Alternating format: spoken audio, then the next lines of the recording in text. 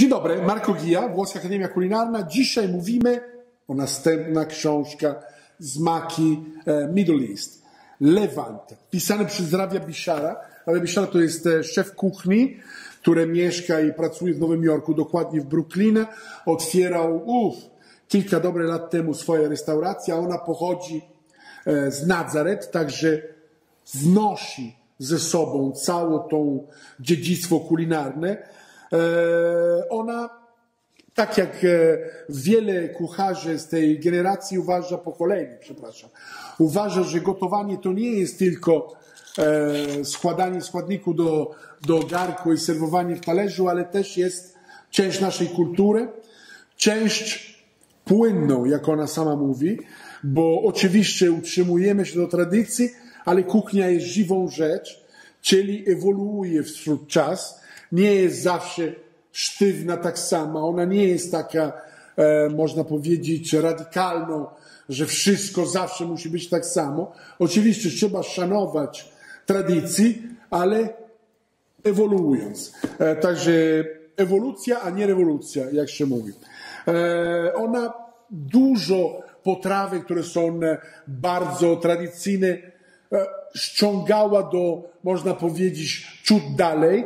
Specjalne te, co są naturalne, mają naturalną predyspozycję do e, wegański, czy do, do, do, do, do, do, do same ryby i tak dalej. Także to po prostu e, takim bardzo technicznym okiem też był zrobione. E, książka jest fantastyczna, są ponad 100 receptury.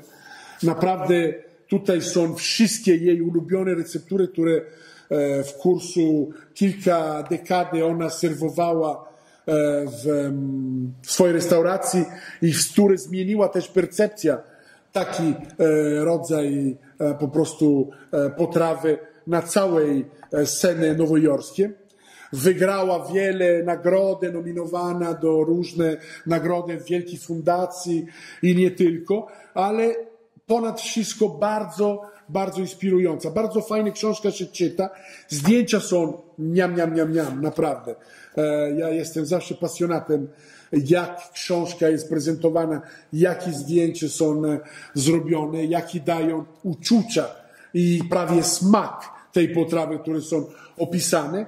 Tutaj naprawdę jest e, zrobiony dobry kawałek roboty. Sama książka się prezentuje fantastycznie. Jeżeli nie chcecie dla Was, to na prezent to idealna rzecz. E, polecam wszystkimi, którzy są ciekawi nowe smaki, ale też, które chcą troszkę pójść dalej, czytać coś fajnego, rozumieć coś od kultury, która bardzo często jest przedstawiona nam jako wrogiem, a wrogiem nie jest. Także Lewant polecam wszystkimi. Ja zdobywałem oczywiście moje ulubione księgarnie Bukow w Warszawie na ulicy Ogrodowej. Jeżeli wy nie możecie tam pójść, to www.bukow.pl jest wasza strona. Pozdrawiam i polecam się do następnej recenzji. Pa!